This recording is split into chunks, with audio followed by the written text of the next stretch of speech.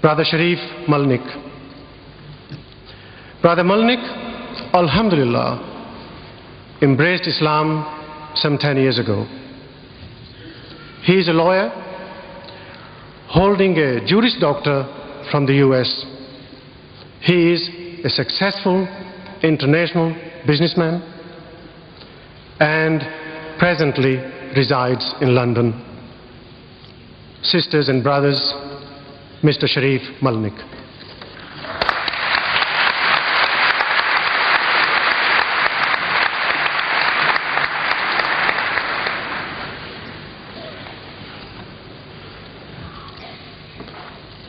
أعوذ بالله من الشيطان الرجيم بسم الله الرحمن الرحيم جزاك الله خير Sheikh Didat, Brother Shamshad, brothers and sisters, ladies and gentlemen, Assalamu alaikum wa rahmatullahi wa barakatuh. وعليكم السلام ورحمة الله Before I introduce the honorable and distinguished speaker, I have been asked to read this to you. Satan, being thus confined to a vagabond, wandering, unsettled condition, is without any certain abode, for though he has, in consequence of his angelic nature, a kind of empire in the liquid waste or air, yet this is certainly part of his punishment, that he is, without any fixed place or space, allowed him to rest the sole of his foot upon. Has anyone here actually read or heard this passage before within the last 12 months? Put up the hands. Could, could you, with a show of hands, please, has anybody actually heard or read this? There, but there, One. Yes, I see one I, and approximately 6,000 people here. Uh, this is actually the first page, the grand opening, the prologue, if you will, of the satanic verses. It is really the great hoax of the 20th century that with over a million copies sold, with people willing to defend that book with their lives, that no one has actually read the book. And if someone says they have read it, I'm sure they don't understand what they've read. Because if you have read this book and you understand what you've read, then you would not have defended it, but you would have rallied against it. This book truly represents a conspiracy against the nation. We have been fooled, all of us. Satanic Salman aptly chose that passage, which I read to you, to describe himself with no abode, punished, and with no place to rest the sole of his foot. An interesting prediction. And yet, this book was given the Book Award. It is a standard of literature which our future generations will study and be influenced by. We cannot allow that to happen. You cannot afford to allow that to happen. I should like to mention, as many in our audience are familiar with our most honorable speaker, you may have noticed that today's program did not begin with a recitation from the Holy Quran. This is most unusual for our prolific speaker, as you are probably aware if you have seen any of the 65 videotapes produced by Sheikh Deedat and his organization, the Islamic Propagation Center International. The Holy Quran will not be recited today because the speaker shall deal with the actual contents of the satanic verses. I say the actual contents because I'm sure that you don't know what this obscene book contains, and you have proved it here today one hand in 6,000. It is the vulgar nature of the satanic verses which precludes us from reading the Holy Quran to open the program today. But, ladies and gentlemen, somebody has to do the job. Do not despair. Sheikh Ahmed Deedat is here with us today, and he has done the job for us. He is the first person to deal with the contents, the actual contents of the satanic verses, however distasteful this may be. He is not afraid to dirty his hands. For, in order to remove an impurity, one must necessarily dirty one's hands. Let us remember that it is Salman Rushdie and his defenders who have provoked and necessitated this response. I would like to warn the audience that passages from the satanic verses will be read aloud. These passages are offensive to every decent man and woman. Unfortunately, there is no other way to properly deal with this subject. So I, I would suggest that we have two minutes. If there are any persons here who are prudish, or if there are any children here, I would suggest that they take this opportunity to leave the hall. You have been warned also in the advertisements that this is not for prudish men or women. It is necessary to lay out a few ground rules which, under which we shall operate today. We ask, or rather insist, that you remain calm and orderly. Do not attempt to break the stage security perimeter. At the end of the lecture, members of the audience are invited to ask questions related to the topic. Allow the speaker his uninterrupted time to speak, and then you may participate in the discussion by asking your questions at the appropriate time. I have no doubt that many who are present here today are genuinely seeking truth, let our behavior today confirm that. It is my great privilege and honor to introduce a world renowned Muslim scholar of the Christian Bible and comparative religions, director of the Islamic Propagation Center International in Durban, South Africa, the author of dozens of books, a great lecturer and debater who has debated with Jimmy Swaggart, the United States evangelist, Professor Clark, Dr. Robert Douglas of the Zwemer Institute, and so on and so on. His credentials are too numerous to list here. Ladies and gentlemen, brothers and sisters, respected elders, may I present Sheikh Ahmed Deedat.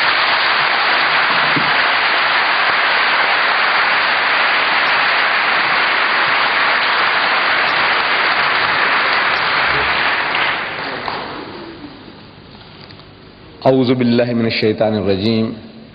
بسم الله الرحمن الرحيم. وإن عاقبتم فعاقبوا بمثل ما عوقبتم به. ولئن صبرتم لهم لهو خير للصابرين. صدق الله صدق الله مولانا العظيم. Mr. Chairman and brethren, the subject that has been advertised, as you read it in the paper, was not the original topic of discussion this afternoon. The original topic as we wanted to advertise was the subject of this book. Each and every one of you have it. If you have it in that envelope, please take it out. Have a look at it.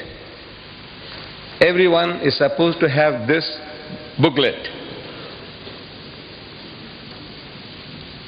The cover, it says, How Salman Rushdie fooled the West. That is how we wanted to advertise in two colors, which we had planned. We sent it over, the negatives, for publication. But the so-called British Free Press, they couldn't stomach it. How Rushdie fooled the West. They said they won't advertise that. They won't take our paid adverts. Believe me, I am talking about your great country, which stands for freedom of speech and expression. For who? Not for everybody, for certain selected groups. This innocent advertisement, how Rushdie fooled the West, they couldn't stomach that.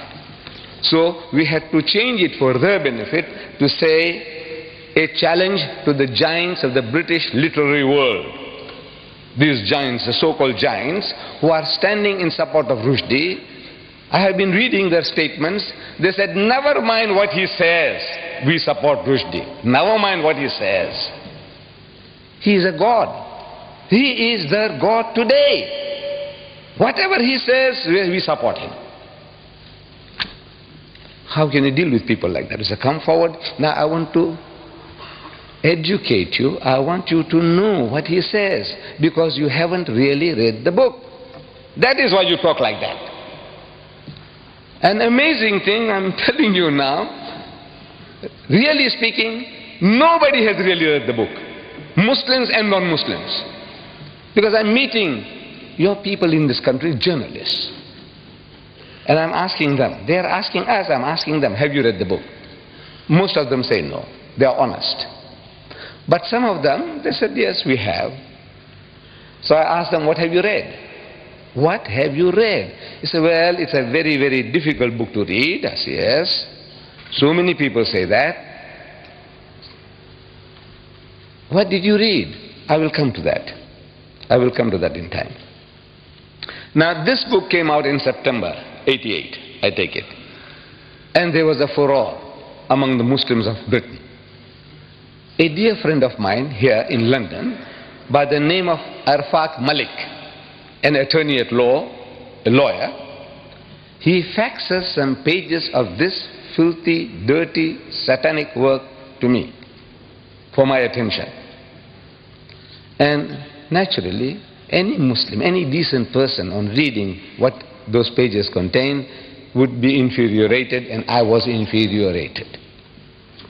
What to do? We said this book should be banned.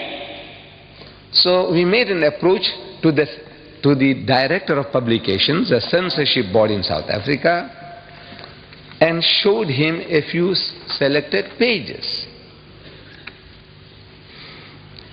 And it did the job. It did the job. In a country where we are less than 2%, we have no vote, no voice, one white man can buy the whole lot of us out, lock, stock and barrel. One white man. That's what we are worth. And yet we were able to perform a miracle. We beat most Muslim countries to the draw. Except for India was the first. I, I, I feel that I, there'll be hardly anybody who can contradict me that we were the second nation in the world to have the book banned. South Africa, the land of apartheid, the polecat of the world did it. How was it done? These selected pages, we take them over to the director and say, Sir, have a look at this. The satanic verses, page 461. You don't have to worry. This book is an instruction book, it's an instruction manual. When you read it, some of the pages and things that you miss out, you'll find them here. This is an instruction manual for you all. He reads, nigger eat white man shit. Nigger. You know who he's talking about? The Africans. He eat white man shit. You know this word shit. It was so difficult for me to use here, in this very hall. There was a debate and I wanted to use this word and I skirted around and around beating around the bush and I couldn't come to it. I couldn't say the word shit. But now I have to say shit because I have to quote him. I said, now you know, human dung, you know, cow dung. You... What the hell? Therefore you were warned. You were warned. This is, look, please, if you are hypersensitive, don't come. Don't bring your women and children with you. But you have braved yourself to say, now we are prepared to listen. We are in Britain. You know, these words that I'm uttering here, I can't utter in my own country because the book is banned. I can't quote the fellow. In my own country, I can't publish this book. This tape that you will see, in case that you want to purchase this tape, videotape of this meeting, you will be able to purchase it and enjoy it at home if you want to. Put your children one side. Put them to sleep when you see this. But in my country, I can't do anything. I can't take the tape. I can't take the book. This is your privilege.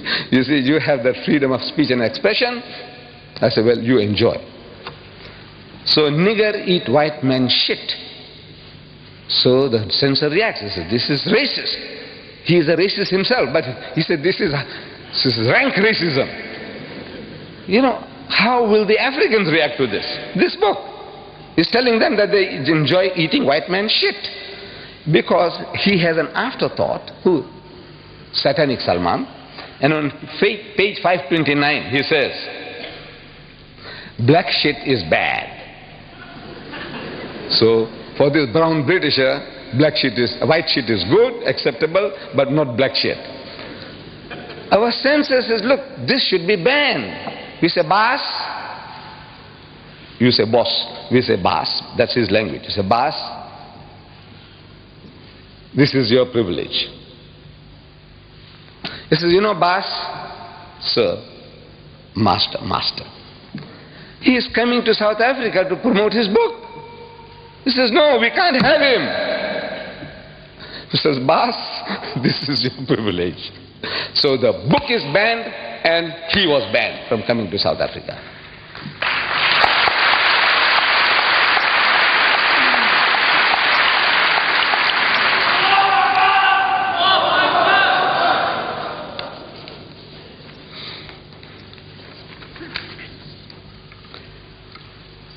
We could have done the same thing here. You see, but we didn't really read the book. It's an amazing thing. Nobody really reads it. You see, we get worked up emotionally. This is human nature. Something that hurts us, we have no time to think. If I was here with you during those days, I would have joined you. In your marches, in your crying, in book burning, I would have been one with you. But you see, I'm at a distance. And from a distance, you see more things than what you are now directly involved. You are in it. You are under pressure, under attack. You are barbarians. They, you remind them of Hitler. Hitler burned books, so you might also create a Nazi party here and you know overtake the country. All these fears, they well up, and now you have to battle with this.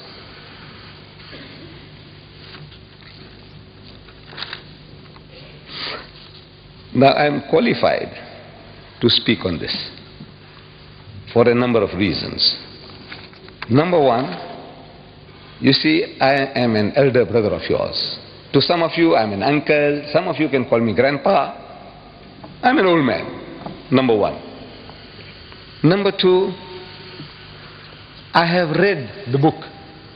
Nobody can say, well, look, did you read the book? And say, no, but you know, this is what people say from here says, no, I read the book. Number two. Number three, three, I'm one of you. You see, to everybody, I'm a South African. But if I tell you that I carry a document with me, a British passport, British passport, 63 year old passport, you believe it? There would hardly, hardly be a single senior citizen in Britain who would be having a British passport 63 year old. If you open it, you'll see my picture when I was nine year old, what I looked like then. And I cherish it. Well, by God, I cherish it because of that picture more than anything else. But now I value it. I'm a Britisher by, by birth and by holding a British passport. I would, I would be looking forward to the pleasure of creating a senior citizens, British passport holders of 60 years and more. If your father or anybody, your grandfather has got a passport 60 years and over, let me know. you would like to create a society in Britain. so I am qualified. Now what in retrospect now because it's far away from all those happenings. Now I can talk more freely. I said, look, what I would have done. I, I couldn't have. If I was in the midst of you, I couldn't have thought all these things out. It's impossible. See, when you are under pressure, under turmoil, and the mass hysteria that can be generated by things like this, you can't think. So I'm not too clever. What I'm going to tell you now, say, this guy's too clever. I'm not, wallah. I tell you, I'm not clever. I am now benefiting from other people's experiences. I have been watching your TV debates on these topics. People send me the videotapes. I watch them. From Britain, from America. And I'm getting educated by those debates. I said, what's wrong? Why don't these people tell the fellow, you know, to the, he went questioned, what is it that's creating such, such, such temper, such anger in you? What makes you so angry? So the guy says, you know, he spoke slanderous things and he stored filthy language. One of these programs I'm watching, the nearest a brother came to answering. He's prodded. What did he say? And I watch his face. See, the camera was on his face. And I can see that he's in hell. You know, he doesn't know how to get out of that situation. So he takes a deep, he said, he, what, what, what is it? So he said, he used word like benchod. 50 million people, the Americans are listening. What did it mean to them? Nothing. And you get enraged. You want to go and kill the man for that? What did he say? I said, our cases have been going by default. If you read the book, here, if you took the right approach, the approach even now is not too late. I will show you ways and means very cheaply you can get things done, very cheaply. Not with the gun, not with the bomb, not with the stone. Very cheaply by God. I show you how it can be done. I said, you should have contacted one of these Tory MPs. Tory, it Tory. You know this Conservative Party, Margaret Thatcher's Conservative Party. Tory. How you pronounce it? Tory. One of the Tory MPs and showed him, he says, look, have a look at this, sir.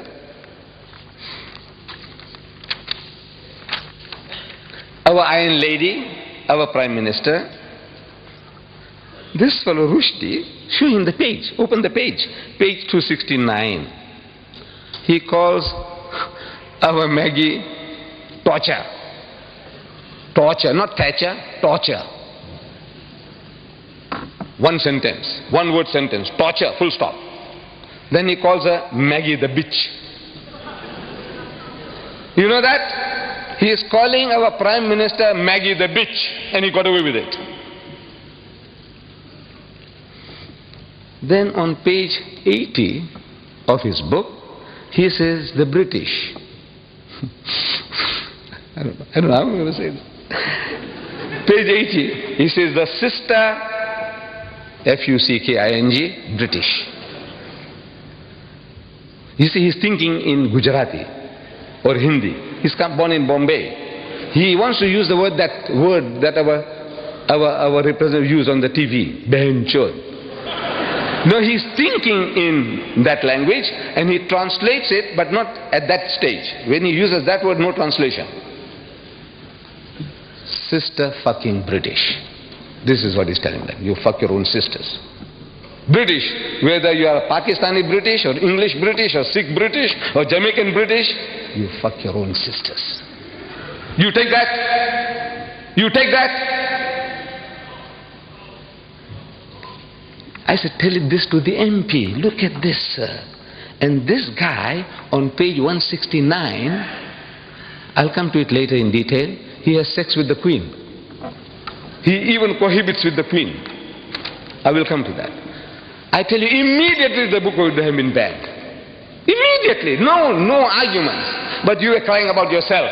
You know, he saw my mother, he saw my fathers, our spiritual fathers, our sahabas, he did this, he did that. It's a good luck to you.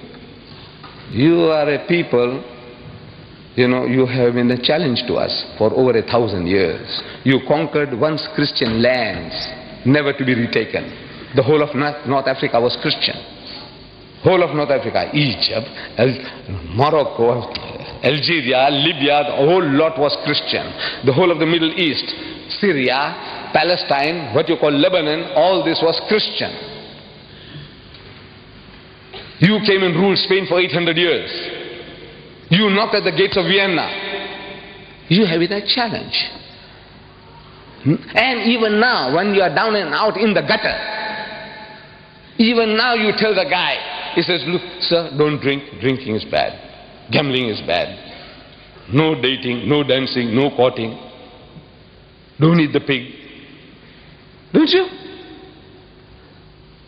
Wala salasa. Don't say Trinity. Look, you are a thorn in his side. Now, for a change, your own child, one of your own, he's put a pineapple up your backside. See how it feels now? He's getting sadistic pleasures. He's getting pleasures in our pain. You cry, you wail, you burn books, you march, he's happy. He's getting a subtle revenge on you through your own. The way was to turn the tables. Bas, I don't know how, how you address them. I don't know how you address them here. I would say, Bas, Pakka Sahib, look what this guy is saying about you. Not about me, my mother, about you, your mother, your sister, your wife, your daughter. You show him and you see how he reacts. Some fellows tell me that the British are insensitive. They are insensitive. They have grown a thick skin. You can tell them what you like, you can swear them as you like, they don't react. I said, don't take a chance. You're making a mistake. He is highly sensitive. But his sensitivity is selective. Where it affects him, I will give you illustration examples.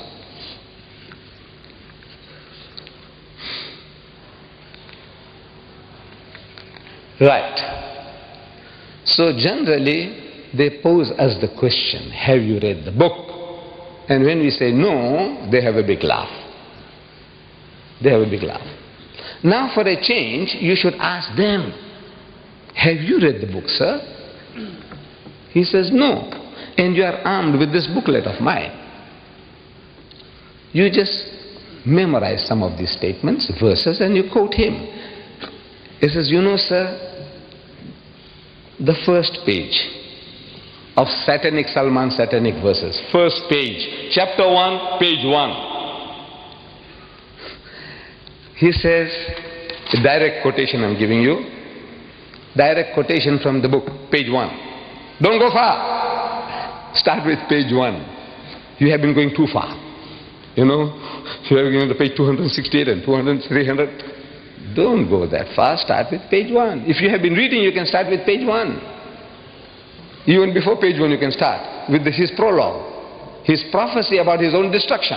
Not a place to rest his foot upon. No place for him. No peace. That's what he's saying. He's prophesying somebody is making him to write. Say, look, this is your end. This is your destiny. That's the first page, really, but he doesn't number it, so we take chapter 1, that, that page, first page, he says, proper London. This place here, London? Are we in London? Yeah, proper London. By. Here we come. Those bastards down there won't know what hit them. Which bastards? Londoners. You Londoners are bastards.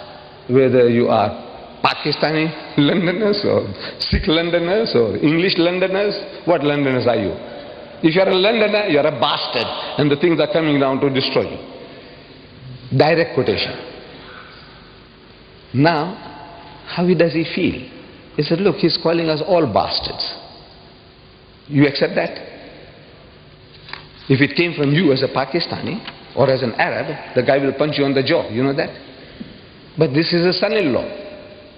He married your sister, your daughter, a British girl. So you have to take it from him. No? You see, we people from the East, we, we seem to respect our son-in-laws, our brother-in-laws more than our own children. You know that? Because he is my son-in-law, my daughter's happiness is at stake. He is my brother-in-law, my sister's. This is, this is our mentality. Is that the English mentality too? I don't know. But he, they have a, some special feeling towards this satan, satanic Salman. So he starts with bastard, very mild. But I said, wait a little till he gets warmed up. Let him get warmed up. That's first page that was. He uses on that first page 16 Hindi words. 16, one six. For which he gives you no meaning and you lap it up. I'm talking about the English now. The Hindi, maybe some Hindu, the, our young people, what will they understand? Yar, bhai. Huh? What will you understand? What is he talking about? Takatam tum. No, if I read it to you, it's, you can't imagine. You can't imagine anybody taking this book up, paying 15 pounds, the fool. He pays 15 pounds for this book, and he reads this. I read the first paragraph. See what you make of it. To be born again, sang Gibreel Farishta, tumbling from the heavens. First you have to die. Hoji, Hoji, Hoji, Hoji. The Englishman understands what he's saying. Hoji, Hoji. To land upon the bosomy earth, first one needs to fly. Tata, takatum. The Englishman laps it up. Very nice. Very nice. What? Indian spice.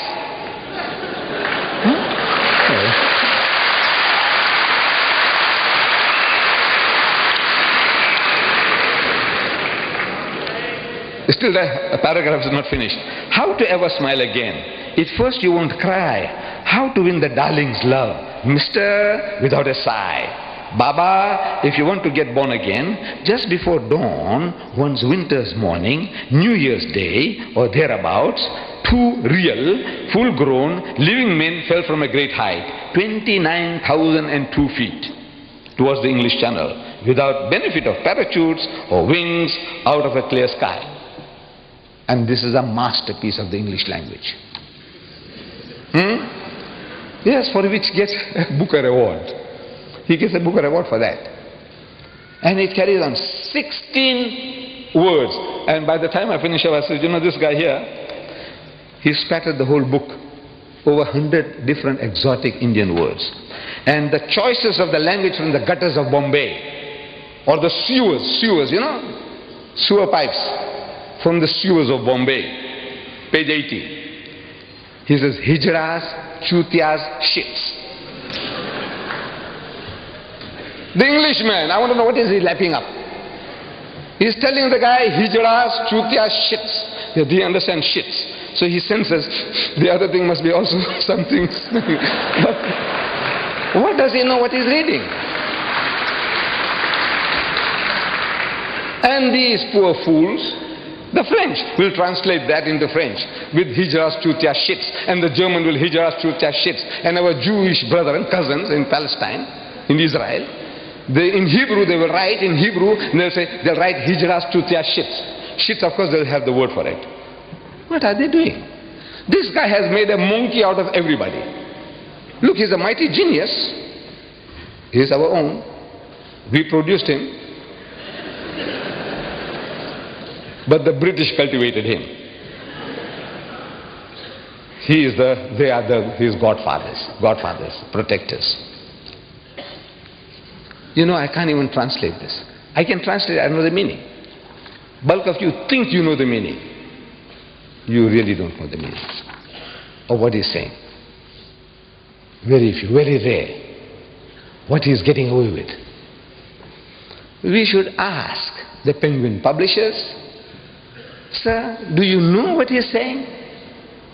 You haven't translated, he hasn't given you a glossary at the end of the book to tell you this word means that this, nothing. He doesn't, he doesn't do that. He doesn't do that.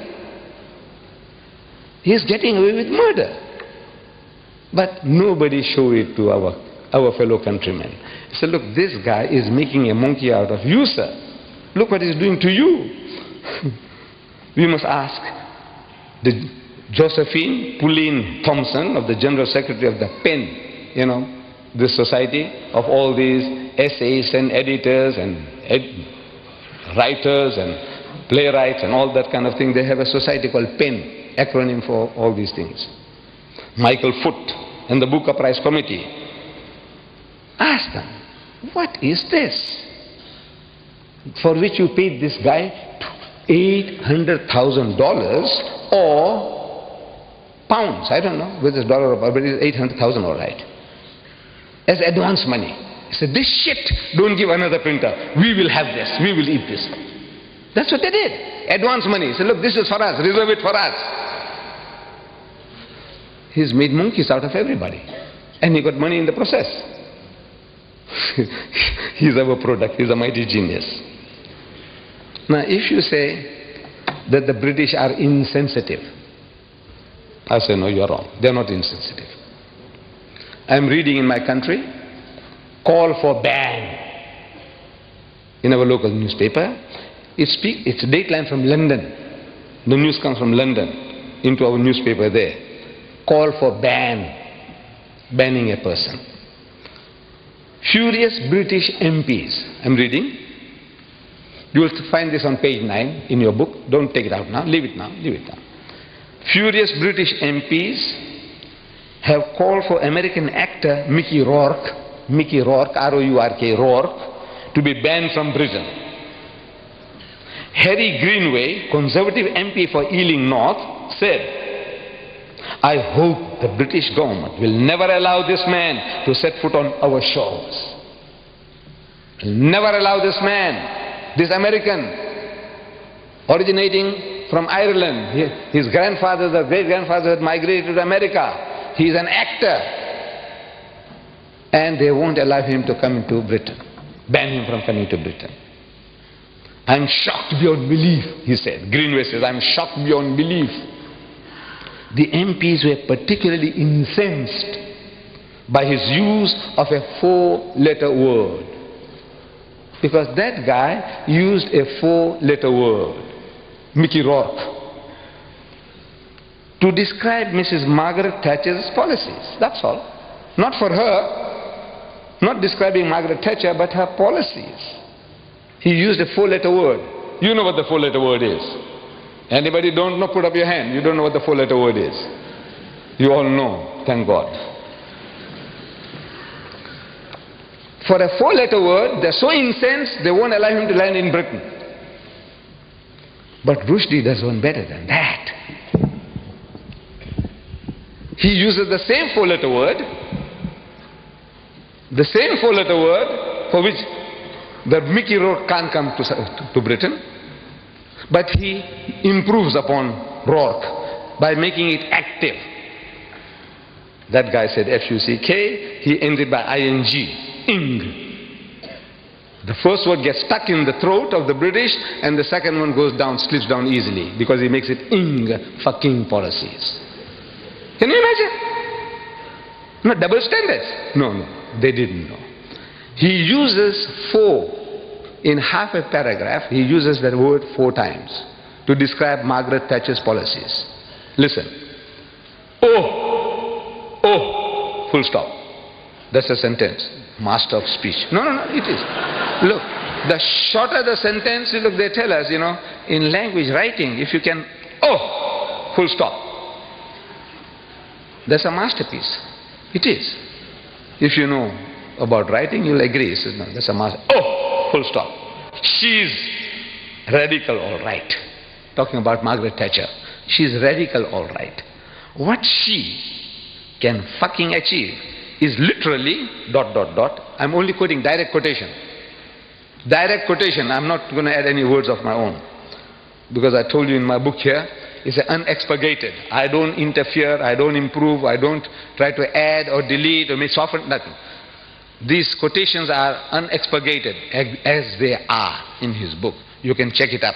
And if you find, if you find that I'm pulling a fast one on you, every mistake you take out, 100 pounds for you. He said, no, he didn't say that. He didn't say that. 100 pounds at a time. Find out. Any typographical error will be accepted. But a misquotation, 100 pounds for you, for every mistake you find. Check it up with his satanic verses. is literally dot dot dot from fucking Surrey and Hampshire dot dot dot. Nobody has ever tried to re replace a whole fucking class before dot dot dot. No, no, when I say dot dot, it's there in the book dot dot dot, three dots. Dot dot dot. This country, your Britain, that's stuffed full of fucking old corpses. Page 270. Four fuckings in half a, half a paragraph. And the British accept it. You know why? Because they don't know. You didn't educate them. You didn't show it to them. This is what I want you to do. This little booklet. Any guy who talks to you says, Bah, sir, come, come and have a cup of tea with me. Look, sir, what does he say? How does he speak? About us, about our people. And you say he's got the freedom of, of speech and expression, unlimited, absolute. Is it absolute? He can swear anybody's mother. He can swear you.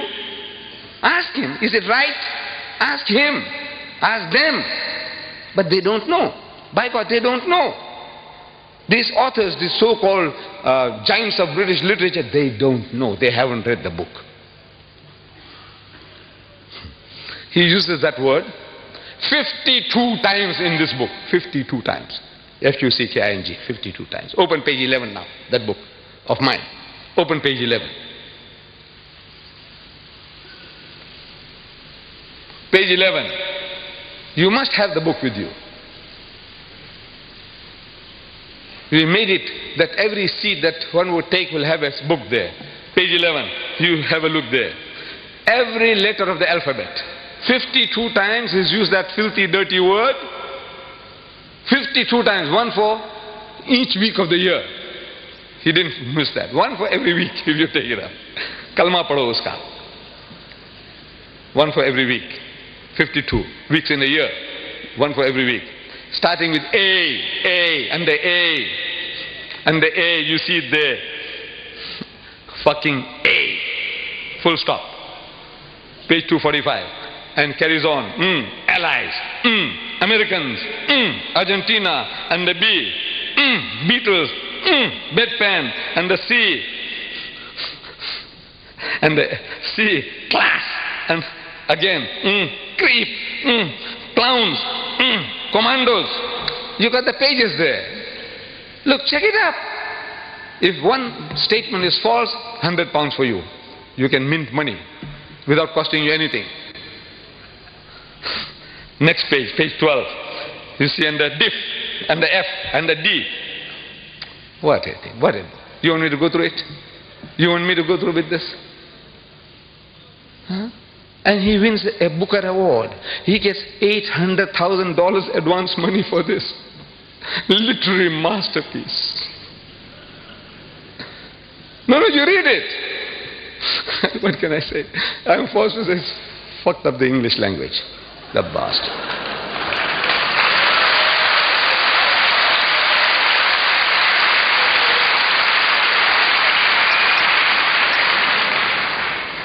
What does he say about our Iron Lady, Mrs. Margaret Thatcher? You know, I don't know why. My wife, she is not educated. She is not educated. But she has a special liking for Mrs. Thatcher. When Mrs. Thatcher appears on the TV screen, all stations close, all stop, all work stops. She must listen to her. You know, maybe her militancy, her forcefulness, the clarity of her expressions. She is very clear. She loves Mrs. Thatcher. My daughter, she loves Mrs. Thatcher. They don't understand her policies. Look, you might want to question me. Don't, please, don't question me about her policy. I don't understand myself. But I also admire her. You know, the way she speaks, I like. I like that lady. On page 269, he says, this torture, Maggie the bitch. Maggie the bitch. I'm asking, is that right? To call the leader of your nation a bitch. You call her torture? Maybe, maybe Mrs. Thatcher can take it. You know, she's so big, she's so great. What is the dogs barking? Let them bark. Call her a bitch? Maybe she can take that too. But I'm asking the feelings, the feelings of her dear son, Mark. You tell him that you are a son of a bitch. Because if mother is a bitch,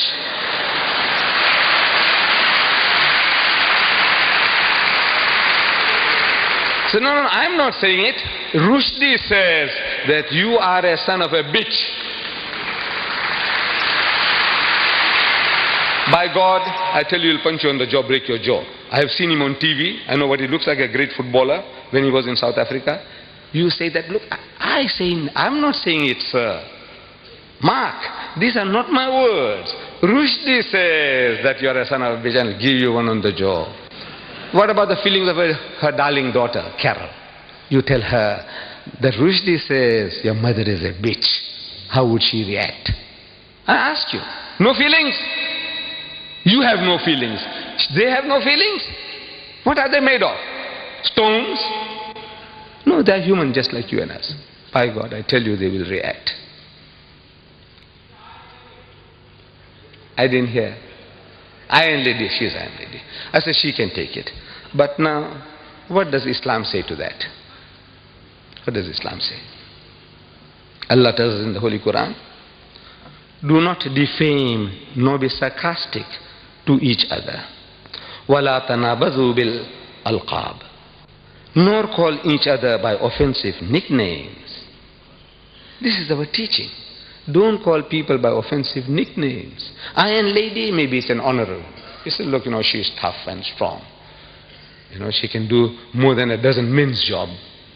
She's great. She takes it as a compliment. Torture, is that a compliment? We know it's not. He's distorting torture to torture.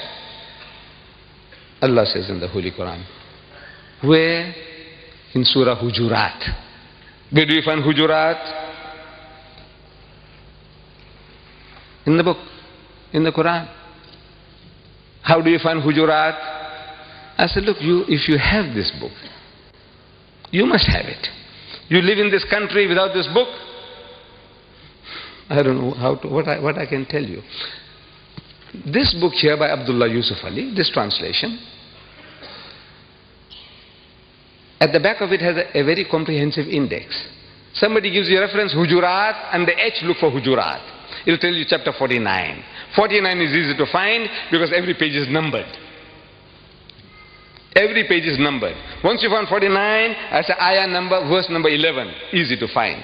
So you read the وَلَا تَنَابَذُوا بِالْأَلْقَابِ and do not give, do not call people by offensive nicknames. Teaching you. Or another place and the slander. Don't slander. Give you references. Don't backbite. Gives you references. What do you want to know? Anything you want to know, everything here is on your fingertips. And this is your privilege to have this for five pounds. Almost 2,000 pages for five pounds. There are fools who are paying 15 pounds for 547 pages. This satanic Salman's satanic verses, 547 pages, thick, these are thick pages, cheap pages cheap paper, they are out to mint money. The cover is beautiful. The cover, as you see, is very beautiful. It is beautiful. You know, I mean the coloring, the, the production is good. But it's only a paper, piece of paper. This is hardcover, solid, gold written. This is paper, but however, it looks very nice. 547 pages of filth, rubbish for 15 pounds. This 2000 pages, 5 pounds. 2000. This is Fletcher Bible paper. But most of you, I don't, I know you haven't got it. You haven't got this book. You have to arm yourself. They are available outside. We made it easy for you. Don't go start hunting for this book. You won't find it at Foyles. If Foyles had it, they'll charge you 50 pounds. Make it impossible for you to buy. Five pounds outside here is highly subsidized. Get it. For yourself, for your neighbor, for your employer, as a wedding present, as a birthday present. There's no better gift you can give to your family, friends, and even to your employers, even the non-Muslim. Five pounds, five pounds, five pounds. Take them one at a time. Two, four, five, ten. Take them. Keep them. Maybe you might not be able to repeat the five pounds for 2,000 pages. This is 15 pounds for 547 pages. This filth and rubbish. So Allah says, don't defame people. Don't call people by offensive nicknames. What about bitch? Calling a person a bitch.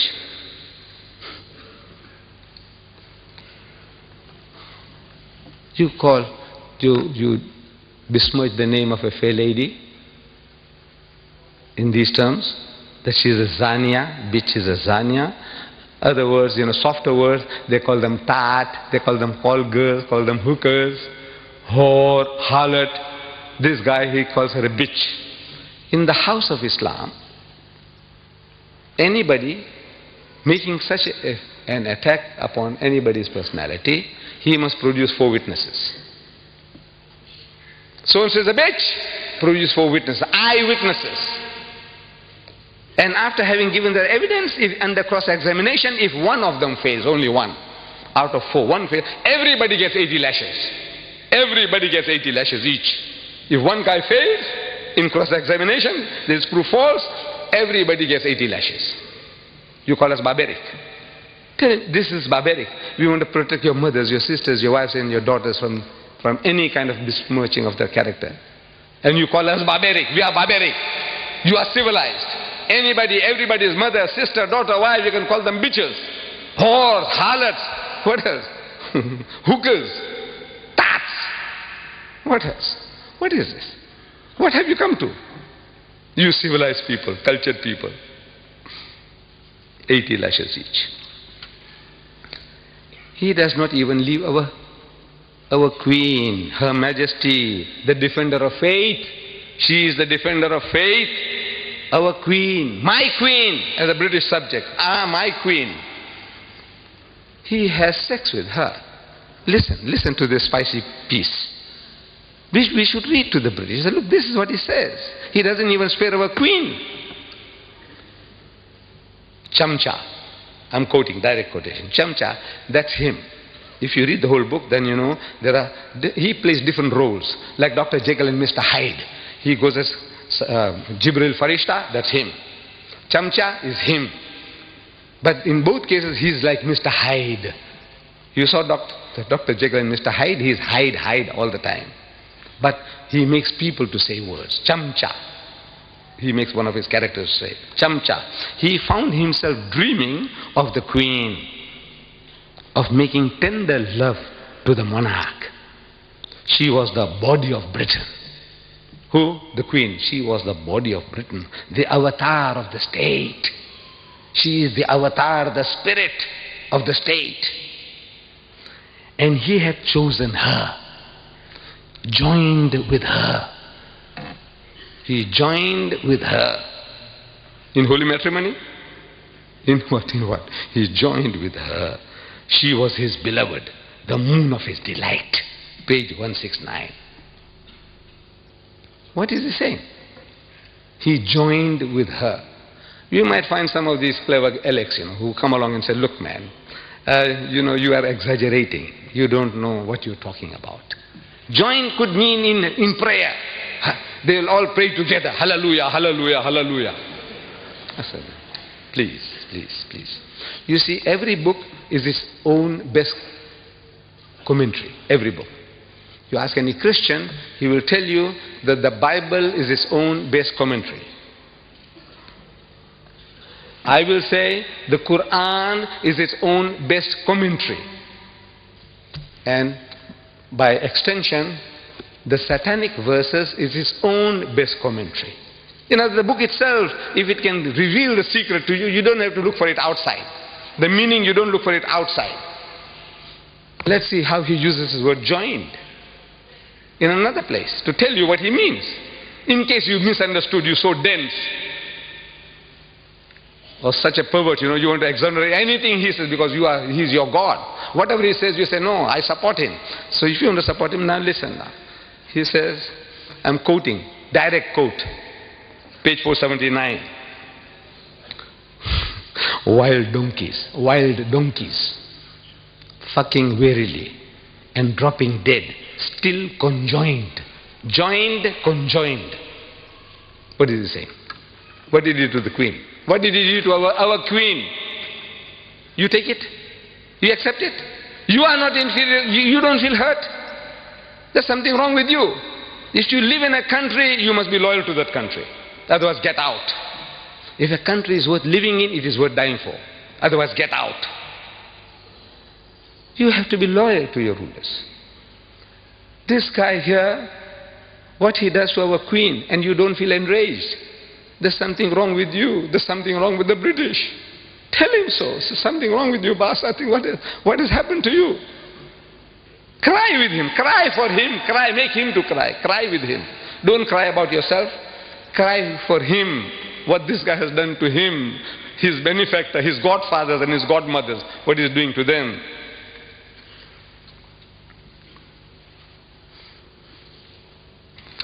They are now reading this book in public. This is an obsession. Marianne Wiggins, his second wife, American. I had read her statement before she ran away also. She also had enough of this guy. First he, what what he did to, uh, uh, if I have the chance I'll tell you what he says about doing to white women. What he did to first one and he did to the second one. But Marianne Wiggins, she said, if I was free, if I was not his wife, I would have read it all over Britain, place to place. At the present moment, there is a woman called Susan Sontag of this literary guild. She is reading it in public in New York. Religiously, daily. She is gathering people, men and women, black and white, young and old. So listen to this new Bible of theirs. The satanic Bible. The satanic verses. She is reading it to them. And there is a young man, an Afro American. He's listening. He's very attentive. And she's reading from the book. She says, she's reading, I'm quoting, page 261 of the satanic verses. White women,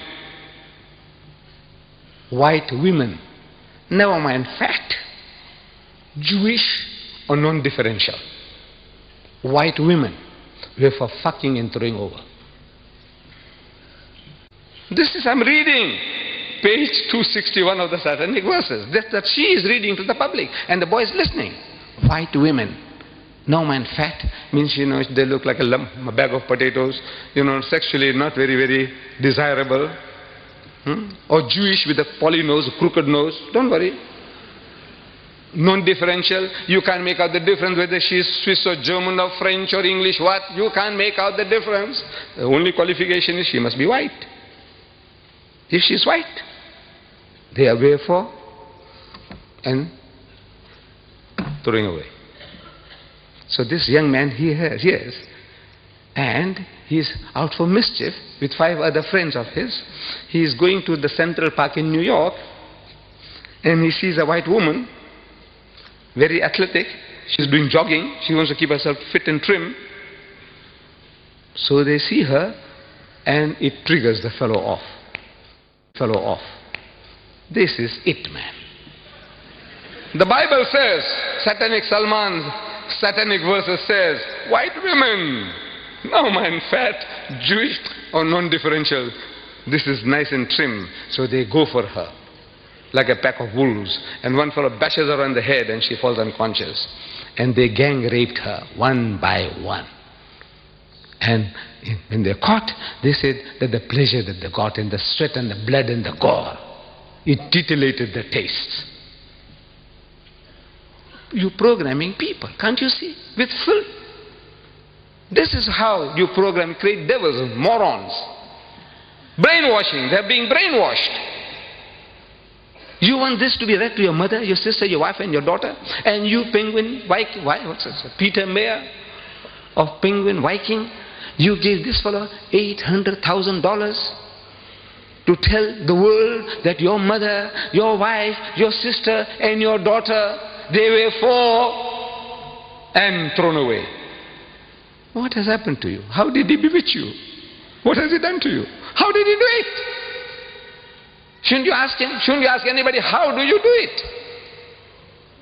When our white rulers were shown that, they said, no, ban the book. What are you doing? You're going to program people. They will be looking for white women. Wherever there's a white woman, do you know what they are for? So they went what is called wilding. On the 8th of May, Times Magazine, if you can lay your hands on it, it says wilding, new word. They invented a new word. Means they went wild, they went berserk. Like a pack of wolves, wolves uh, smelling blood. What are you doing? What are you doing to the world, to mankind? And Mrs. Thatcher, just recently, I'm reading this, Monday, September 11th. Maggie says no to sex investigation. I don't know whether you read the, in your newspapers. Dateline from London again. She says no to sex investigation in Britain. There is a society or a body, says Mrs. Thatcher has said no to plans for the biggest ever investigation into the sexual habits of Britons. They want to know the preferences of the British men and women in sex. This is no. Maggie says, no, you shall not do that. I admire for that. By God, I admire her. She's Muslim. She's Muslim-like. Maybe she's reading the Quran.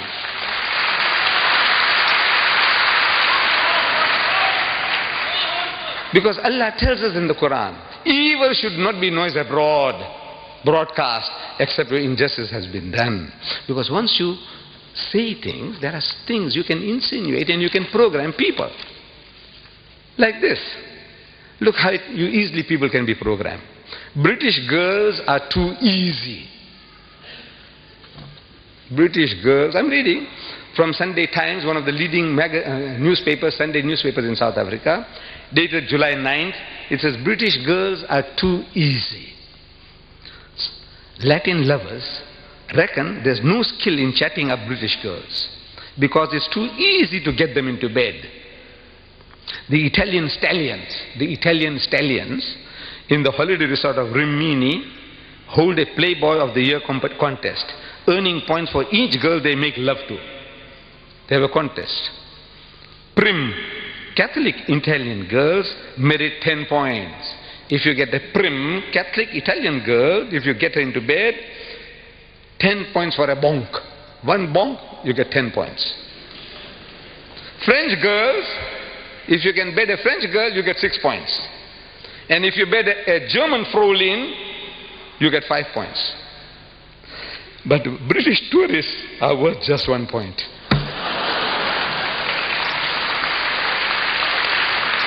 what are you doing? Your daughters, your sisters, when they go overseas, every guy says, man, this is the easiest meat. What you doing? Even if they're not, now everybody is making approaches.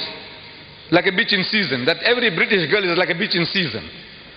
Anybody comes, anything goes. This is what the guys are saying. You want to have a sex away here? Here, hmm. September 16, 1989, The Economist, your news magazine, The Economist, says a woman was raped on a London tube. You know, your underground. She was raped. So they carried out a survey. And a survey, was and a survey showed that only 24% of women thought the tube safe during the day, during the daytime. Only 24% of women thought the tube safe during the daytime, and only 1% at night. You know what they're telling you? This is semantics, playing with words. They're telling you that 99% of your mothers and your sisters and your daughters are terrified at night. 99%. But they say only 1% feel safe. Instead of saying 99% feel unsafe. The masters of language. This is how they do it. You want the world to know? You want to take statistics? Dr. Kinsey, the American, he did it. The life of the American female. The life of the American female by Dr. Kinsey. I read it. I read it. But I will not allow my wife to read. Fortunately, she can't. But I will not definitely allow my daughter to read. Why? Because by reading that stuff, it's going to pollute their minds. It'll give them filthy, dirty ideas which they could never have imagined. I can't give you details because it might create the same problems. I will not share it with you, what I read. Dr. Kinsey's Life of the American Female. If you read it, it's the same. The British female is the same. The French female is the same. The German female is the same. On the average, it'll be the same. Gives you ideas. Filthy, dirty things. Mrs. Margaret Thatcher is wise. She says, No, you shall not do it. I take off my hat to her. By God, she's acting as a Muslim. This is Islam. These things you don't do. And even what they call this is royal gossip that even British rags won't publish. Look, they have certain standards. You know, rags, British rags, these rotten papers, filthy, dirty newspapers, they talk about all the filth and the dirt, pornographic thing. And bigger headline, not even Britain's notorious gutter press. You have a gutter press here? Even notorious gutter press dares to print the story Yanks have read, the Americans have been reading. What? Mum's the word about Zara's dad. Mum's the word, keep quiet. Don't utter anything about who is the father of Zara. Who is Zara? She is the daughter of Princess Annie.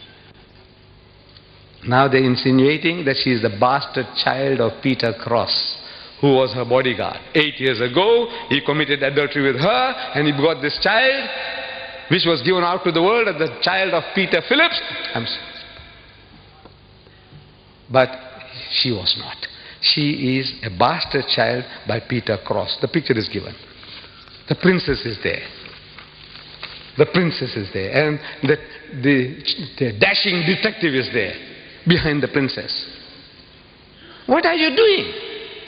What are you insinuating? You are destroying the life of a child. Can you, can't you see? One child.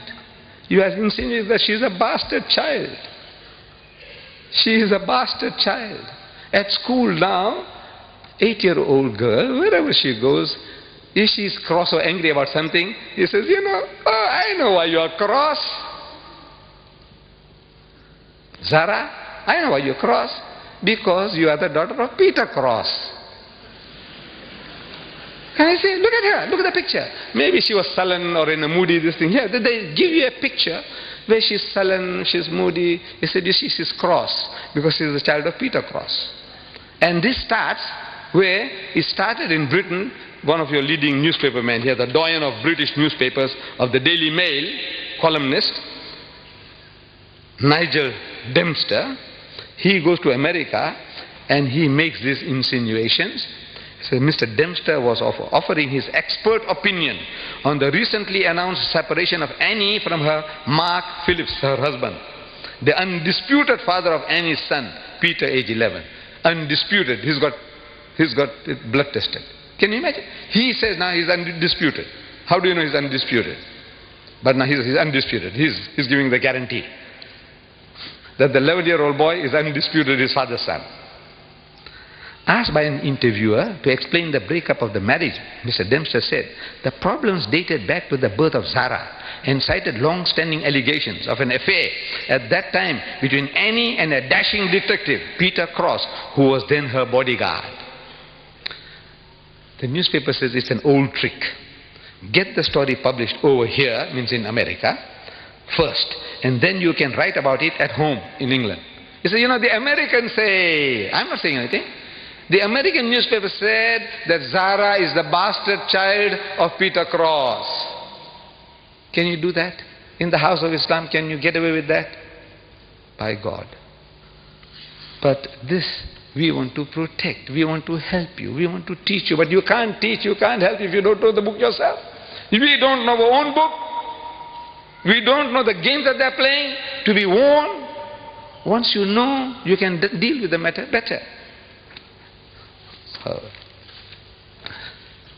we are told, Allah tells in the Quran, Ya ayyuhallazina amanu, say, O you who believe.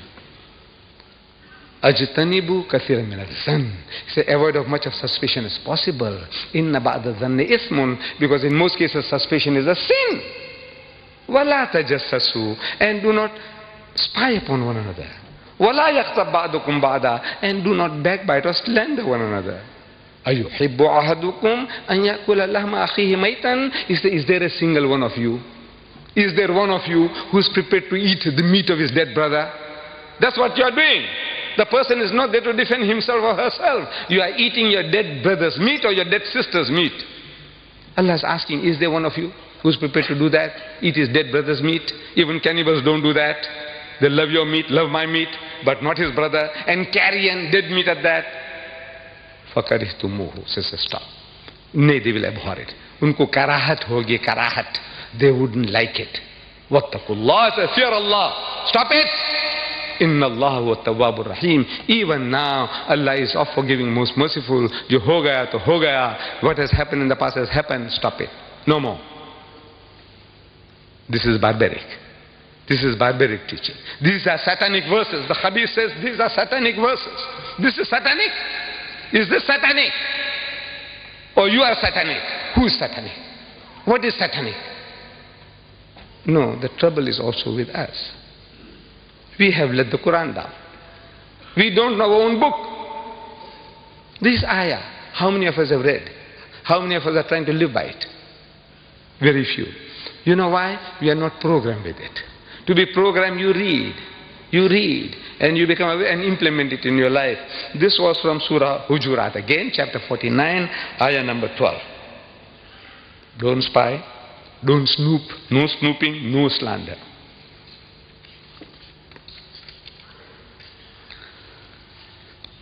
This guy, he spares nobody. He spares nobody. There's some type of sickness. I think there's a special word for it. A man who hates everybody, anybody, everybody. Even himself. If you read, he hates even himself. There's something sickness. He is a case for a psychiatrist. But he is an evil genius for writing. And there are conspirators at work. Conspirators, people are conspiring for this. They want this to be done. They want this guy to do. They gave him advance money beforehand. So come on, man, write this book.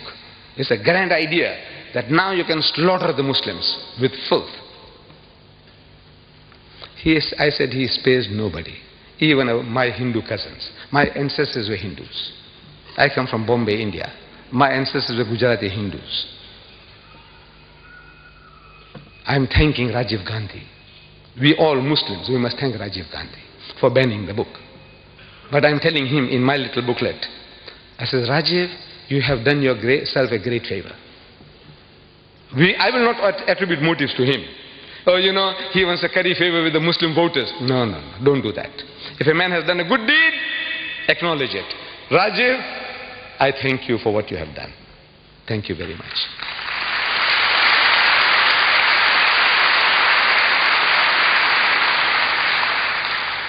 But this is the benefit of a good act. If you do something good, the benefits, the rewards are so much greater. You are actually helping yourself. I said, You have done yourself a great favor by banning the book. Because in that book, maybe he didn't know, maybe the Hindus don't know that he hasn't spared the gods of the Hindus. He hasn't spared the gods. On page 539, he says, a direct quote I'm giving you now. Here was a lecherous, drunken Rama, the god of the Hindus. Rama is the seventh incarnation of God, according to Hindu philosophy. Krishna is the eighth incarnation of God. Buddha, the ninth incarnation of God. Rama, here he calls him lecherous, obsessed with sex, drunken, alcoholic. Rama and a flighty Sita, his wife, worshipped by millions of Hindus as a goddess. She is a flighty woman. Flighty doesn't mean flying away from, from, from sexual approaches. Flighty means one who is easily excited, easily aroused sexually, like a bitch in season, randy. This is what he's saying, flighty. Go and look up your dictionary at home. Flighty. Flighty doesn't mean flying away, flying into, into illicit sex. And while, the Ravana, while Ravana, the demon king, was depicted as an upright and honest man. The devil is an upright and honest man. The gods of the Hindus, he is a lecherous debaucher and drunkard.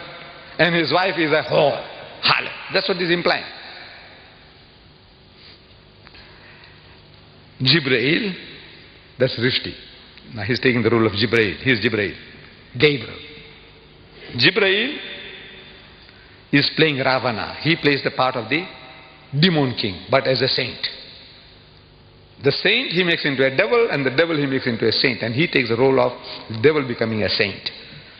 George explained in fascinated horror, looks like he's trying deliberately to set up a final confrontation with religious sectarians, sectarians, knowing he can't win. Look, he's writing, Rushdie is writing this. A prophecy about himself that, look, he's doing this He's trying to create a play, a play within a play, a dream within a dream, so he can get away with it. I was only dreaming. You know, when he had sex with the queen, he was only dreaming. He didn't literally do it. That's how these these perverts will say, look, he was only dreaming. I said, you Habis, when he wrote it, he wasn't dreaming, was he?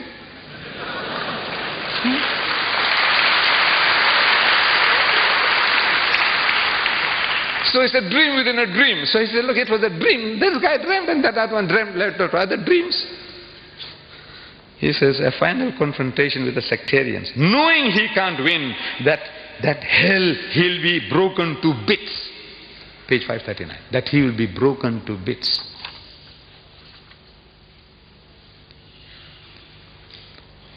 My dear brothers and sisters, the problems generated by the satanic Salman satanic verses in his notorious book are too vast for any one person to handle. Please, let me conclude that if such are the priests, these are the priests, the prophets of these atheist and agnostic people, these are their gods.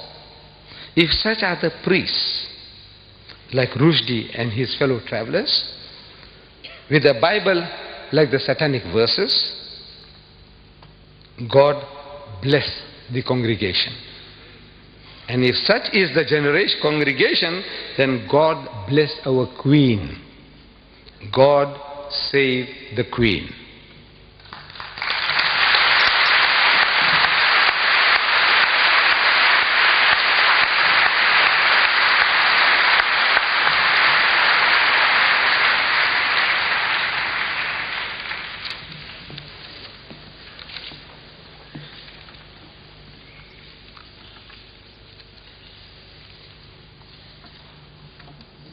Wa rahmatullahi wa barakatuh. We are most grateful to Sheikh Ahmed Deedat for presenting his views and analysis of the satanic verses. Jazakallah khair. It has been truly enlightening. How Rushdie fooled the West. How true. Weren't we all fooled?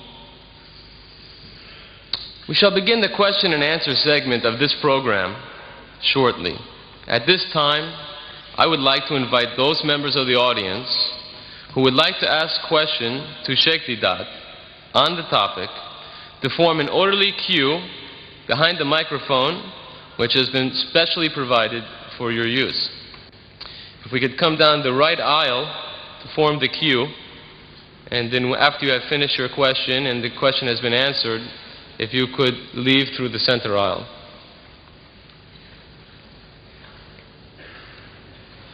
Identify themselves. They can identify. While you are forming the queue, it is essential that the following guidelines be strictly adhered to, so I would like to, to fill you in. This will avoid the chairman having to interrupt the questioner. This is a question time, not an opportunity for you to make a speech. If you want to make a speech, then I suggest you hire a hall, such as Sheikh Deedat has done today, the Royal Albert Hall, and he has graciously consented to entertain your questions. Please, only one question per visit to the microphone. If you have further questions, please just go down the center aisle and take your place at the back of the queue again. So this way, more people have an opportunity to ask questions, and as well, we get a broad range of questions. Please do not interrupt the answer. Ask your question and be respectful enough to listen to the answer. This is not a debate. Finally, please keep your questions succinct and related to the topic of today's lecture how Rushdie fooled the West. It is not fair to the speaker or to the rest of the audience to ask a question on another topic. There are many tapes which you can purchase after this question segment which will deal with all of the other topics. There are approximately 65 tapes.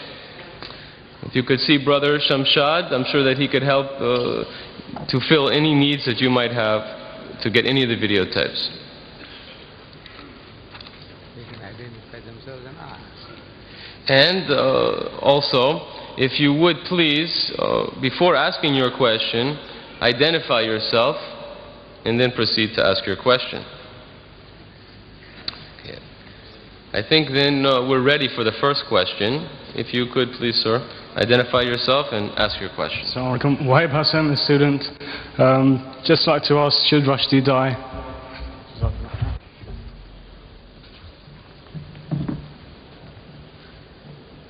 My son, are you British? Are you British? Huh? You are a Britisher. Now, if you are a Britisher, you see, I said, how Rushdie fooled the West. You are one of those. And if he did to your queen, if he did to your ruler, Mrs. Thatcher, what Rushdie did, I want to know from you, what would you do? What you would do. I want to know, if you are a Britisher, if you are a loyal citizen of this country, I want to know from you, what would you be doing?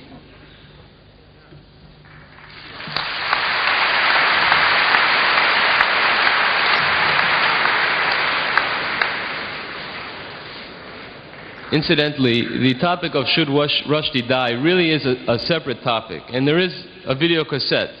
It's Should Rushdie Die, the Islamic Verdict, which also is available outside. The next questioner, please. I would like to ask that whether satanic verses can be an insult only against Islam or it is an insult against all religions, including Christianity and Judaism. And if yes, is it not a good idea to ask the leading figures among Christian and Jews to express their views, whether they agree with the content of this book or not. Because I personally believe it is not insult against only Islam. It is insult against all religions, including Christianity, Judaism, and Hindu religion. And the second thing I wanted to ask, because I or other people here might have the wrong impression that you are supporter of any political figure, could you also clarify that point? Could you repeat the second part of your question, please? I or other people might have the impression that you are personally supporter of certain political figures in this country. Please clarify also that point. Thank you. The second, the second question first. I have no affiliation with any political parties or any religious groups. I am a Muslim and I stand here as a Muslim and I speak as a Muslim.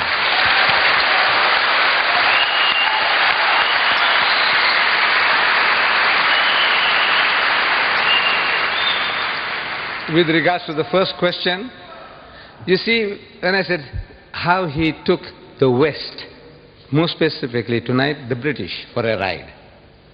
Now, the British, you can't say the British are only Christians. My Muslim brothers say they are British. The Jews in this country say they are British. The atheists say they are British. So I said, look, everybody is involved. You don't have to carry any religious label, affiliation, to specifically address you. He says, now look, you, you as a Jew, you know, you are being attacked. You as a Christian are being attacked. I said the whole of humanity, or the whites in general, and we Muslims in particular, everybody is attacked. So we don't have to start separating. I said, now, where is your stand? You as a Britisher, whether you are an atheist, or a Muslim or whatever you are. If you are a Britisher, you live in this country, you have been enjoying the benefits of this land, I want to know what is your stand? What must you do?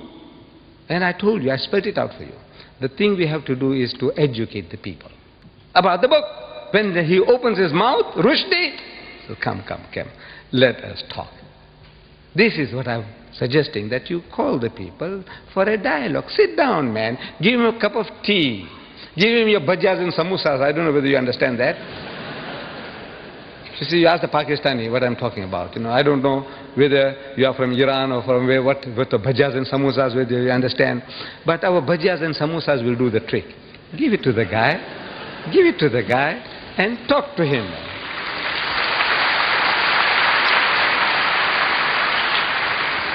Inshallah, job will be done. Sure. I 100% agree with what you say, and I, and I think it's a very good idea that in rational debate it's pointed out that this book is insult against all the religion, not only Islam. The whole of humanity, the whole of humanity. Good. We have the next questioner, please. Would you identify yourself, please? Assalamu alaikum. My name is Khalil. I am British. We say Rushdie how he fooled the West. But so far, you know, Mr. Deedat mentioned he's a genius. To me, my judgment after what I've heard from you, he's an idiot. But countries that back him, he has been insulting to so many religions, Hindu, Christian, white, and so on. Now, for them to back him, back the book, what would you call those people who support him to let the books go on? Me, as a Muslim, I say he should be banned from writing. Because no, no, no. he has I- caused... The thing is now, you educate the people. The people in power, I said they will do the rest. If you had shown to Maggie what he says about Maggie, you didn't do it. You didn't do it. You didn't tell the people, he said, look how he's abusing our queen. Did you? Anybody did it? Did anybody go and tell the people, said, look what he's doing to our queen? They are, to, they are tolerant in this country. This is the problem. I beg your? They are tolerant. They can accept, like we say, the Iron Lady. There isn't a, a Britisher you can go and tell him that he's the son of a bitch. You go and tell him and see how tolerant he is to you.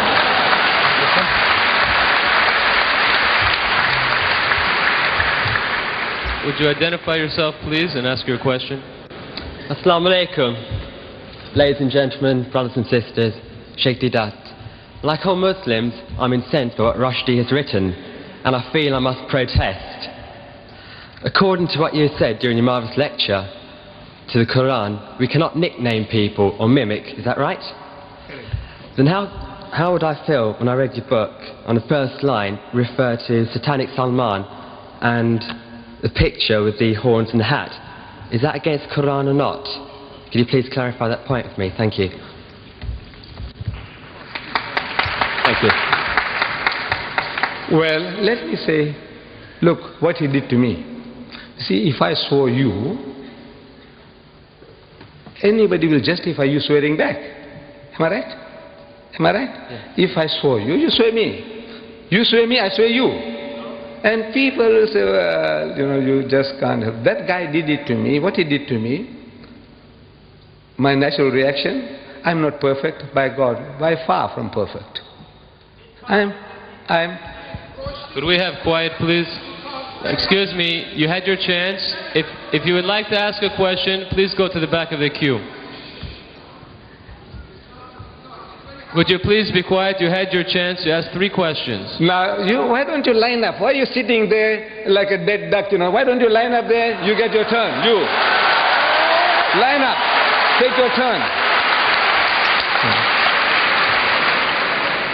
Then we know who you are, what you're talking about. See, shouting from there, now he's discussing. He's discussing strategy. How? Look, my son, I am like anybody else, like you, like anybody else. I am no saint. And I am not perfect. I am telling you this is what Islam teaches. I, you, everybody, you must try to the best of our ability to live by it. Let's say to a degree I have fallen short of that requirement. I have done it. I have done it. Good night. Next. The next questioner, please. Identify yourself. Assalamu alaikum. My name is Omar. I'm a Muslim. I need no other identification except the title that Allah and His infinite wisdom, power, and grace has given to me, and that is that I'm a Muslim. I heard much of what you said and I agreed, and I heard much of what you said and I was hurt and disagreed. I was pained for the children that were here and the language. Of course, we live in a world where language such as that is often used. But what pained me the most was when I heard, if I can quote you, and please allow for my inaccuracies. Sometimes I am often mistaken. If you live in a country, you should be willing to die for it. Well, there are many countries in which I'm willing to live, but there's certainly only one cause for which I'm willing to die.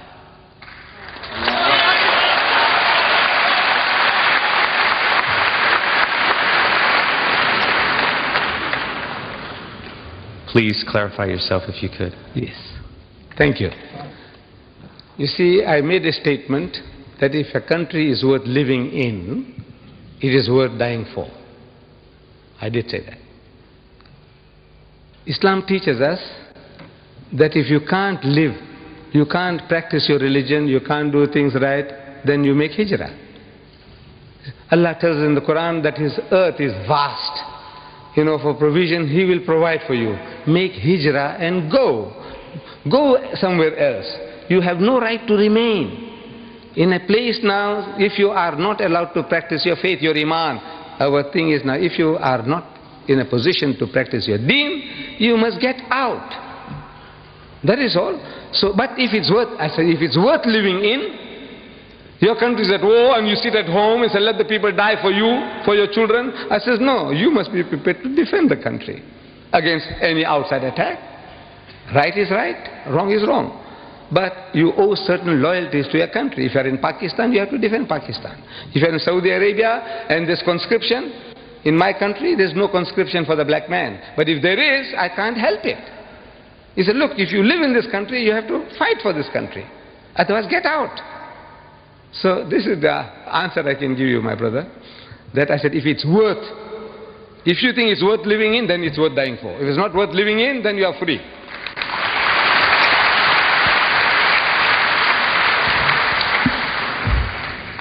Assalamu alaikum. Uh, Brother Sheikh, in bracket Professor Deedat, uh, in your opening speech earlier, you mentioned the course you took in South Africa relating to this uh, satanic Salman. I think I am full, in full support of what you did, and uh, I am very pleased with the success you got. But will people, say in predominantly Muslim countries, and also Muslims living in this country, follow the same course? Taking, viewing that the book was written here, published here, which means all those uh, actors, the queen, the head of state, and other leaders who were accused or abused, have read the book, presumably, or some others have read it and translated it to them. They knew it and yet they allowed it to be published. So if they didn't object to it, we as Muslims living in this country, though I'm not British, but I'm living here, should we not protest to defend our own religion, our own faith, our own belief? Uh, may I know what you think about the action of our brothers and sisters in Bradford who really brought us to light to defend our cause? Thank you. I think you missed the point when I said that if I was here with you when this turmoil was taking place, I would have joined you in your marches, in your crying, in your book burning. I would have been one with you. Did I say that, if you remember? I said that. I would have been one with you. But now I said I have an advantage. I was far away. And I was able, it has taken some time for me to see things. In other words, now I can formulate ideas. Which you in the midst of turmoil, sitting on a hot stove, you can't do. It's not your fault. I'm not blaming anybody that, look, why couldn't you do this? I said, look, the reason is you were in turmoil. You are on the run. Like Jesus Christ. You see it in the Bible. The man is on the move. Every time he opens his mouth, people want to stone him. So he's on the move. It's a different circumstances from another man who is at peace and rest and is able to deliver a message. So I have that advantage and experience from other people's mistakes. I'm benefiting. I said, look, this man here on the program was questioned. Have you read the book? And our heroes, almost all, they say no. So I said, no, I mustn't fall foul of that. Suppose I go to Britain uh, and I offered 50,000 pounds to BBC TV. BBC TV, I offered them 50,000 pounds to give me five minutes on prime time to give them the best of Rushdie. I said, you want to read in public? You had the blasphemous banquet? Give me only five minutes and I give you 50,000 pounds. Give me five minutes to read to you the best of Rushdie. No reply. I offered ABC and PBS TV in America $50,000 for five minutes. Give me five minutes. Why I'm able to do that is I'm benefiting from my other brothers' mistakes. They made certain mistakes. I said, I won't do that. You know, I might just share this with you. I think Sheikh Sadi Rahmatullah one of our great philosopher poets, he was asked, he says, where did you learn all these good manners from? Your good manners. You know, you're such a perfect man that we see, you know, well behaved. Where did you learn them from? So he said, I learned them from the unmannerly. So how can you learn manners from the unmannerly? He says, no, you see, everything I see in the other man that I feel is not right, I won't do it. So this thing you did like that, I won't do that. That mistake you say, no, I won't do that. So I learned my good manners from the unmannerly. What do you? So I was only benefiting from other people's mistakes. That is all. Thank you very much. You are great. Next questioner, please. Could you identify yourself, please? and ask Assalamu alaikum. I have no question, but a request. A request only to Dr. Jesus, what he is doing in this world, to be translate one share with our research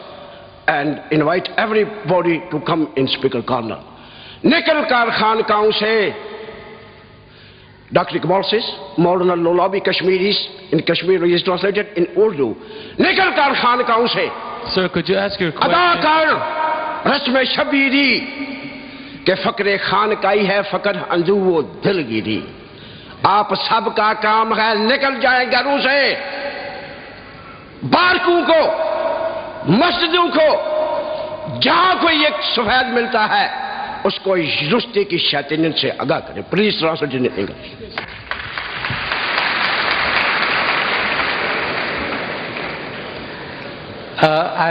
not an Urdu few but few understood I understood was that انسٹ remaining in the and in, and in the in your know, saying tasbih and sitting down doing nothing, so get out and do some work.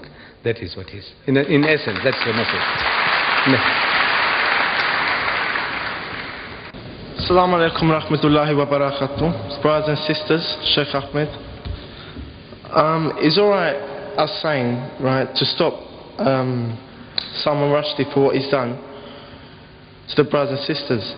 But don't you think he's done the damage already to us? Don't you think what he's done already is, far, is, is very bad already? So don't you think that if we did see him, our natural reaction would be to do something to him? Wouldn't you think so? For what he's do- done to us? Uh, you are a Britisher. Yeah. Well, your feelings are my feelings. Yeah. Can we have the next questioner, please? Would you identify yourself, please, sir? Assalamu alaikum wa barakatuh. Sheikh Rahman. Would, after all the all the things that um, that Salman Rushdie did, uh, said, and would it would he be allowed back into Islam? Would he be allowed to accept Islam again? You see, accepting Islam, this is in the hands of God, whether Allah accepts. If you commit murder, rape, whatever, you commit a crime. Now, if you make istighfar, repentance sincerely to Allah, Allah can forgive you. But in the house of Islam, the Sharia takes its course. Allah can forgive, but the Sharia won't forgive. You committed a murder, deliberate murder, you deserve to die. Life for life. But in the hereafter, your recompense is there. Allah says, all right, okay, you know, you sincerely repented, I forgive you. That's his prerogative. But the Sharia has no right. The Sharia won't allow you to forgive if you do a crime.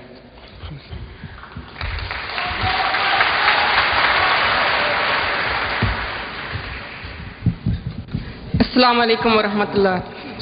Um, my name is Sayyida Kirmani and I'm a British Muslim and this question is to you, Brother Dida. You mentioned in your course of speech the Islamic punishment for adulterers and slanderers, but you haven't mentioned the um, punishment which says in the Quran for the blasphemy that Rushdie committed. And as a Muslim, and as far as my knowledge goes of the Quran, your approach to Rushdie affair is in contradiction of Holy Quran. My second question is, No, that was a statement. My second question is, That was not a question, that was a statement you made. do you agree with this? What? Do you agree with my statement? What statement did you make? What did you say? In Quran, the punishment for blasphemy against the Prophet of Allah is quite different. It's either by death or by stoning or cutting arms and legs.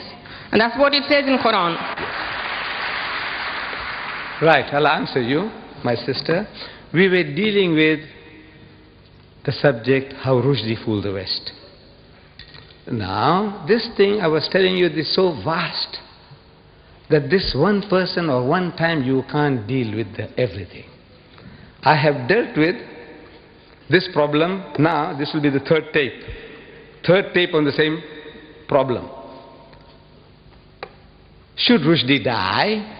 The Islamic verdict. Should he? Should that? That's the question. Now you have to get Can you tell us? Because No, we're all no, here. no. This is another lecture. You want me to deliver another lecture? Not just saying no, no, no. Wait, wait, wait, wait, wait. We started here at half past two. It's half past four now. This will take another two hours. You want me to expound to you for two? Look, you No. can't. You can't just make statements. You have to get this tape. I'm only asking you if you agree with the Quranic punishment I or you agree what the Quran says, and here we deal with it in total, two hours. So you agree with Then- the Quranic punishment? I, how, as a Muslim, how can you disagree? That, that's all I, I want. think, I think that... I, Then, then further, again, should Rushdie die? Yes. The Judeo-Christian verdict. That's a different subject. Now, at that subject, you said, look, what about Islam? I said, look, when I was talking about Islam, you said, what about... I said, look, wait a minute. You see, there are people who can make a hundred different statements in one 15 minutes. Unfortunately, I can't do that. You see, if I touch something, I have to ex- explain to you the whole situation. So, the Islamic verdict, the Judeo-Christian verdict, and now you will see in the future how he fooled the West. And now each and every one is separate, independent, but is doing a certain job. I think that Also- Sheikh, I think, excuse me, sister, I think that Sheikh Deedat has been very patient in answering a question that is not related to the topic. And brothers and sisters, ladies and gentlemen, I would like to ask you to please remain and contain your, your questions to the topic. It is, it is unfair to ask a question on another topic which will require perhaps a couple hours of explanation. Could we have the next question, please? Assalamu alaikum. My name is Tabassum Mehmed um, and I'm a Muslim Pakistani. Um, I want to ask you, is the fatwa passed by Ayatollah Khomeini, is that justified from an Islamic point of view? I don't think you understand Without English, my child. Look, we have been talking about how Rushdie fooled the West. Where does Khomeini fit in? Is it The- the topic, the topic. Look, if you came with the understanding, I don't know whether you understood, a challenge to the giants of the British literary world, you know, can you stomach the best of Rushdie?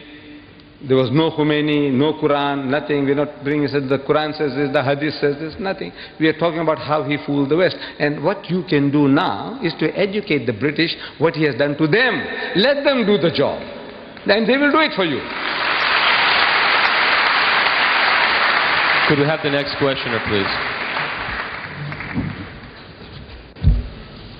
Assalamu alaikum wa assalam. Would you identify yourself, please? My name is Haj, and I would like to ask a question to uh, Sheikh Ahmed Deedat. He says that uh, Rushdie has blasphemed all the humankind, all human beings.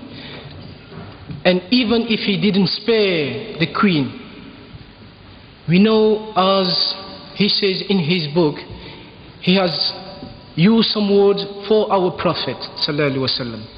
And we know that this Prophet is even greater than the queen or whoever then is that is greater than the queen, the Prophet is greater than you.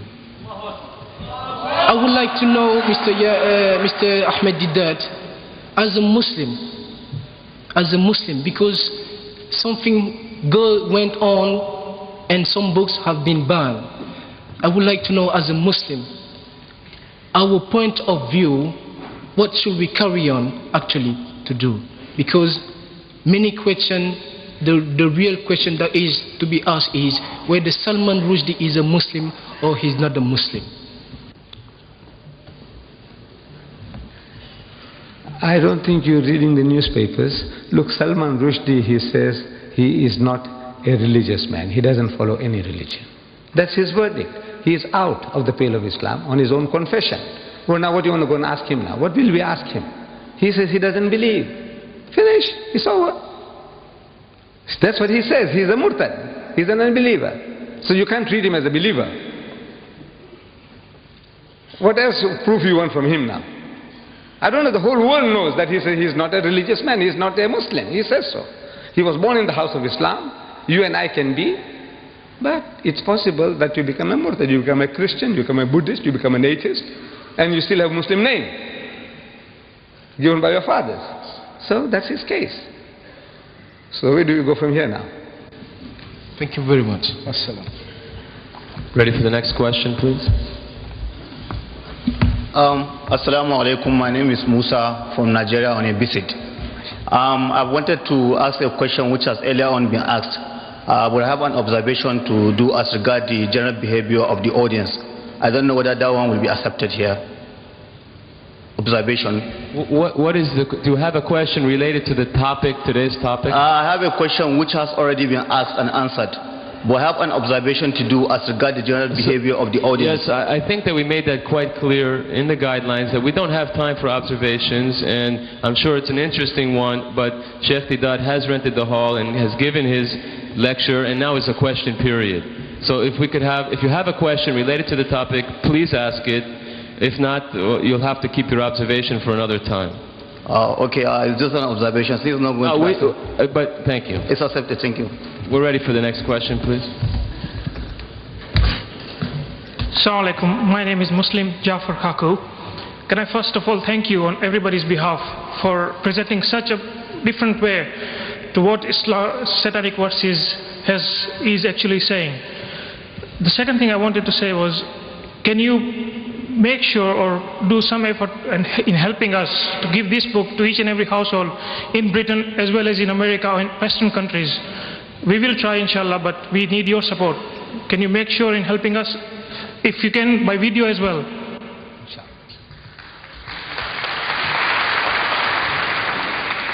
Uh, we are publishing 100,000 in Britain for free distribution and another 100,000 in America for free distribution.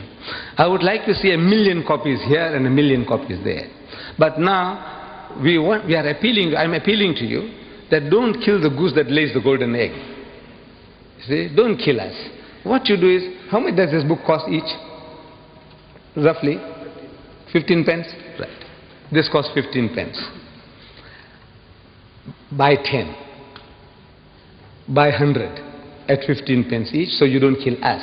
And you give them out on your behalf. Yeah? This is what you ought to do. That way you'll be helping us immensely. Because now I am interested in publishing the 100,000 it's under, under print. But then I said, look, I want a million. Look, this book should be given out in the streets, in all the cities. Give them out freely. You know, you buy them at cost price. If you can publish them yourself, cheaper, we are giving you an open order inside. We want no royalties from you. We have no copyrights. You publish it, you sell it, you distribute it free. No restriction whatsoever. So if you want to do that, you can have that privilege as well. You can print it yourself. Maybe it'll cost you 10 pence. Maybe it'll cost you 5 pence. Go ahead and do it. But help us that way. Spread the book. Inshallah, we'll help you. But if you can start a fund or something just to, pub to publicize this book and the videos, I'm sure you'll get a lot of response from people who want to donate to this cause. No, we don't want donation. You just buy it yourself. If you have got no time,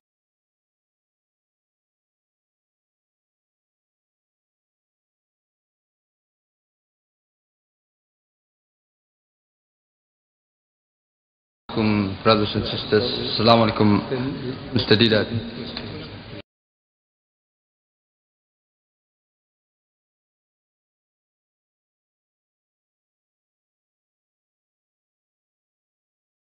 Last year, uh, November, the Muslim, some Muslim scholars, Muslim ulama did uh, contact the British government in connection with this book. So, uh, like you did in South Africa, uh, some scholars and some ulama tried to do it here but uh, they were unsuccessful through their Democratic Party.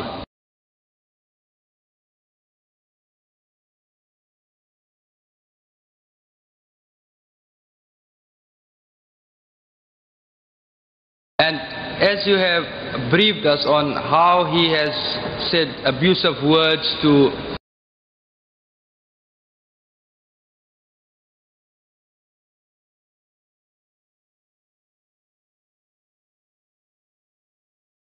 abusive language that he used and the technique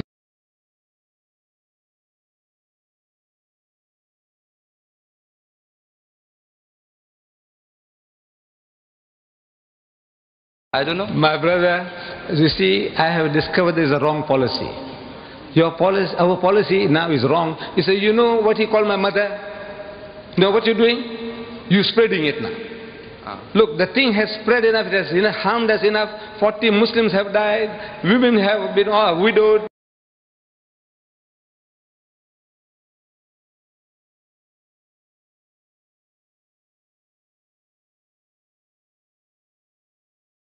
You, sir, what is doing to you? Forget about what happened to us.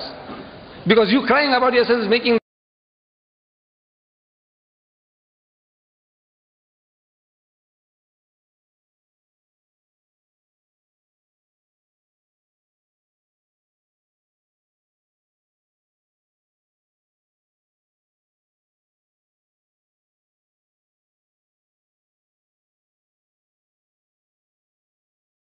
I would like to take this opportunity, uh, of course, to, Sheikh, to thank Sheikh Ahmed Deedat for all this time that, that he has given us.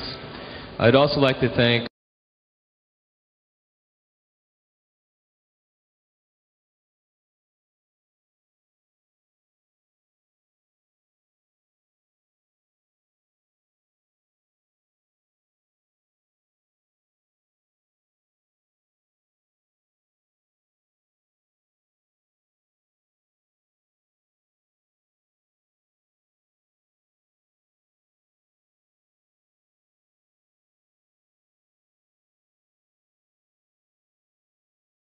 We just don't have any more time to, to answer.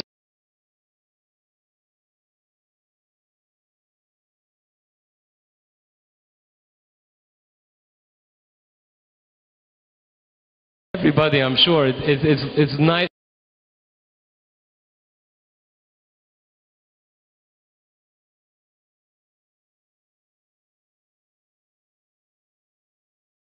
Please sit down and perhaps we'll have a, a, there will be other programs this week and your questions perhaps will be answered at those.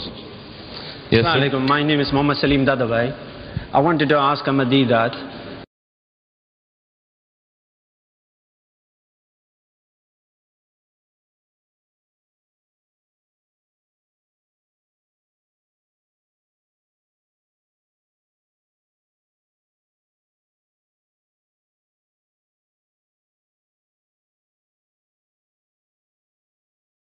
Look, the question, the person who does or who doesn't, you ask him the question.